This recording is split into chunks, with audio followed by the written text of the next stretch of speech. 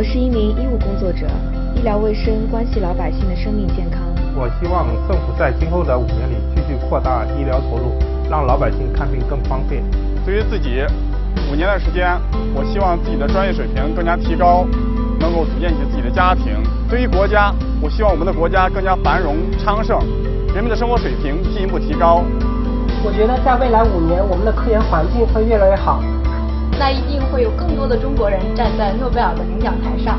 在未来五年，我也希望我们取得更多的科研成果，让大家更好地享受科技给生活带来的便利。我们这一代人要最大限度地做到传承和发扬中华美食是一种文化。未来五年，我希望这种文化可以发扬到全世界。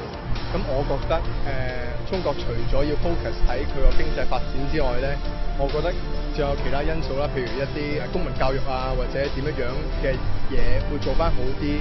我是一名食材工人，未來五年我希望看病越來越容易一些，收入越來越高，有機會帶着家人出去旅旅遊。然後呢，農村人們就越來越後代。政府拿来帮助帮助我的老年人，我們來改善多改善改善我哋。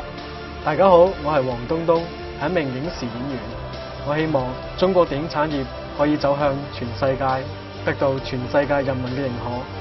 未来五年，拥有健康，拥有正能量，为我们二零二零年的冬奥会加油助威。未来五年，希望国家能够更加支持我们的早教行业，让更多的孩子能够接受到更加专业、更加有针对性的指导和培养。呃，我希望中国每天都是晴天，没有雾霾。未来五年，我希望自己能不忘初心。我相信中国一定会有更大的市场与平台提供给设计师们。我是一名互联网创业者。未来五年，我希望公司顺利融资，甚至启动 IPO 上市。未来五年，我希望自己创作更多的精品力作，也希望我的学生能够学业有成，有更大的发展空间，真正能够提升中国艺术的国际影响力。再过五年我就该退休了，嗯，我希望能够一直教书到最后一刻哈，也希望能够真正的成为孩子们的朋友。在未来的五年里，我希望祖国的道路一路畅通，祖国的发展也一路畅通。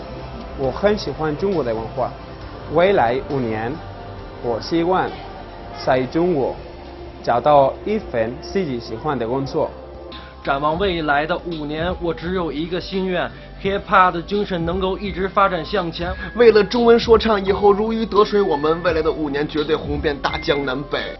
我是演员六小龄童在未来五年当中我将继续弘扬我们中华的优秀文化传统拍出更多更好的无愧于时代的优秀作品。中国在发展越来越多的人拥有了选择梦想的机会在未来的五年里我希望我带着我的孩子们取得理想的成绩我要拿冠军有没有信心？有。